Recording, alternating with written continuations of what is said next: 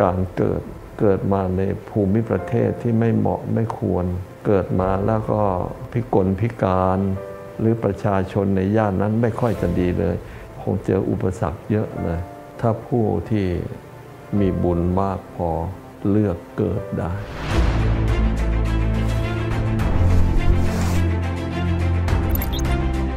เพราะฉะนั้นไปศึกษาเสียว่าพระสัมมาสัมพุทธเจ้านะ พระองค์สร้างบุญสร้างบารมียังไง จึงเลือกเกิดได้ มีบุญพอแล้ว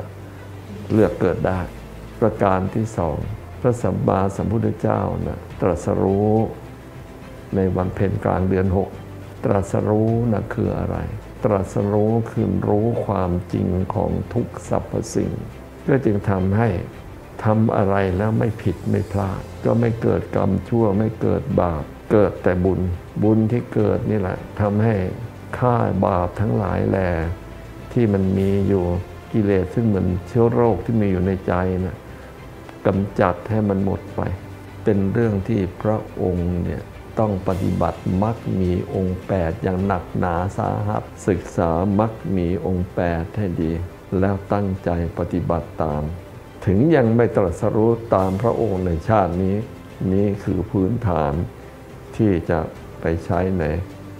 เบื้องหน้าต่อไป พระองค์จะไม่กลับมาเวียนว่ายตายเกิด เช่นเดียวกับเราอีกก็ฝากเอาไว้นะ ยิ่งต้องทำความดีให้เต็มที่สร้างบุญให้เต็มที่อะไรที่ไม่เหมาะไม่ควรนั่นนะเลิกให้เด็ดขาดนะ ตั้งแต่วันนี้เลยทำไมล่ะ เรากลับมาเกิดในภายภาคหน้านะไม่มีหนี้เวรหนี้กรรมข้ามชาติ ในการที่จะยืนหยัดอยู่ในโลกนี้ต่อไปให้เป็นสุข แล้วก็เป็นทุนในการจะกลับมาเกิดใหม่ด้วยว่ายังไงเลือกเกิดได้แน่